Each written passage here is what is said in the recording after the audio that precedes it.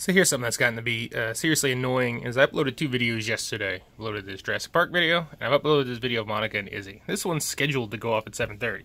It is currently 7.21, and already I've got a request for review that it's not suitable for all advertisers.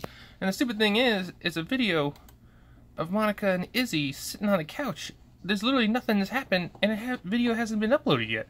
So now I've got to go into here, do this stupid request manual review for it, and then I'll get something back to confirm, submit for review, and then after it receives a thousand views, they'll come back and say that's totally fine. And it happens on so many of my videos, and it's really, really annoying.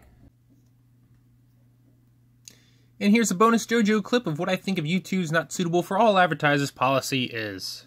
Thanks for watching.